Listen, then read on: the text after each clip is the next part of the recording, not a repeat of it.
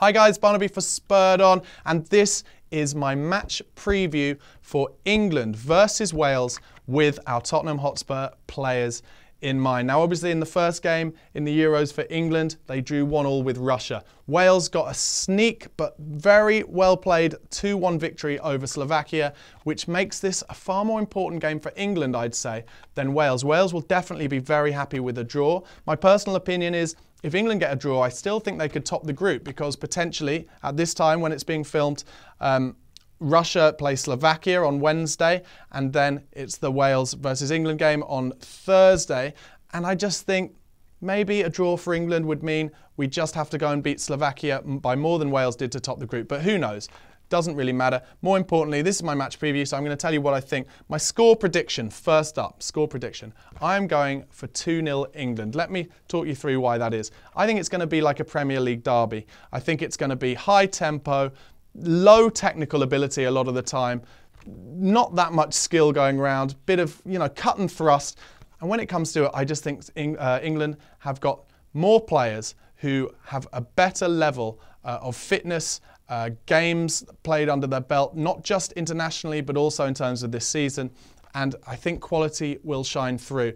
Uh, basically, I feel like if England can keep Gareth Bale and Aaron Ramsey quiet, it's highly likely that we'll keep a clean sheet and I can just score us not, uh, see us notching one. Uh, if we can get an early goal, I think that'll change Wales' game plan. They're going to play a 5-3-2. They'll have to come out more at us and that will enable us to have even more space in the wide areas where Danny Rose and Kyle Walker can take advantage of the fact they're only playing wing backs with potentially, probably Raheem Sterling and Adam Lallana in front of them, kind of doubling up. So that's why I've gone for 2 0. In terms of my lineup, the team that I think will play, I actually think Roy Hodgson will be loyal and stick with the same team because England did play well against Russia. So, that, so that's Joe Hart, Kyle Walker, Gary Cahill, Chris Smalling, and Danny Rose, Eric Dier and Wayne Rooney, Dele Alli, uh, Adam Lallana, Raheem Sterling, and Harry Kane. However, if it were up to me, and it's not, uh, if it were, uh, and I mentioned this in yesterday's Spurverts or Spurverts on Tuesday, sorry, uh, I would actually play Harry Kane in a bit more of a withdrawn role, take out Raheem Sterling, play Dele on the left of the three behind the front man, and bring Jamie Vardy on. But I don't think he will do that in which case I think Hodgson will stick to the same team and hopefully Vardy will come on with 20, 30 minutes to go when the Welsh defence is tiring and the game is getting opened up. Uh, talk about a couple of players in the opposition that we obviously have to look up to, uh, look out for. Uh, Gareth Bale goes without saying. I'll mention him a bit more in a second. But Ben Davies, uh, obviously our Spurs left back, uh, isn't playing left wing back for them. Like I mentioned, Chris Coleman's playing a 5-3-2. Ben Davies plays on the left side of the three centre backs. And in their opening game against Slovakia, he made a game-saving uh, challenge uh, clearance off the line. Uh, very early on in the game, and that would have made things incredibly hard for Wales in terms of pressure because Slovakia could have just sat back. It was really amazing reading of the game and a great clearance. So Ben Davies will be so up for it, playing against you know probably five Spurs players. Uh, and he will be bang up for this one, so it'll be interesting to see how he does. Second one to look out for, of course, Gareth Bale, the greatest player I've ever seen play for Spurs in the flesh, uh, and he is just the main man for Wales. They're pretty open about it. Chris Coleman's almost Harry Redknapp-like in how open he is about. He tells his team, just get it to Gareth. Gareth Bale will be on every set piece. He'll be on, uh, you know, pens if they get pens, and their whole team is geared around giving it to Gareth Bale. He plays the 5-3-2 so that Bale is the spare man and can just roam, and we've just got to keep it tight. And if there's one man who I think should stay near him at all times, it's Eric Dier, and I think he will relish that challenge. Of course, he won't be able to match him for pace, but if he doesn't give Gareth Bale any space, Bale will start getting frustrated. Don't be surprised if you start to see a few dives left, right, and centre from Gareth Bale.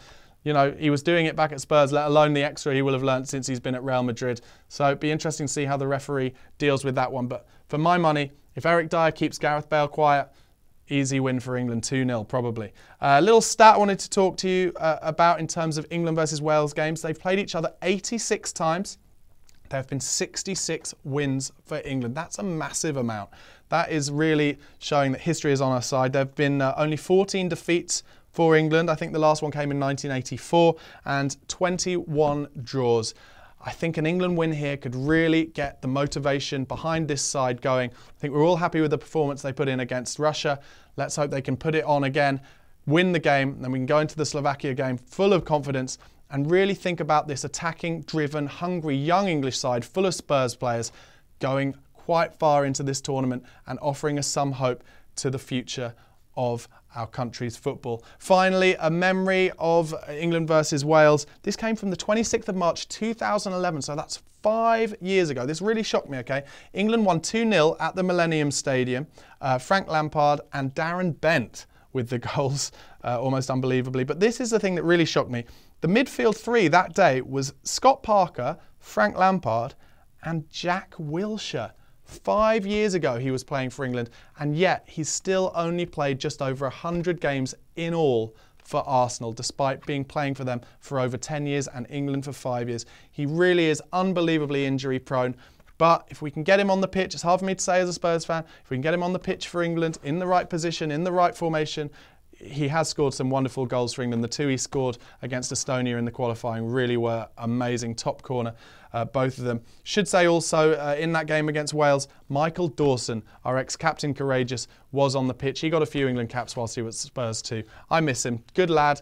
In the end, it was probably the right time for him to leave, although we didn't know at the time he was going to be replaced by Federico Fazio. But still miss him and glad he's got promotion with Hull City. It'll be good to see him back in the Prem next season and at the lane, hopefully. Anyway, guys, that's been my match preview for the England versus Wales game. Let me know what you think about it in the comment section below. Let us know what you think the scores will be and who will score. Don't forget to subscribe to Spurred On on YouTube and on Facebook and Twitter. Just look for us, Spurred On TV.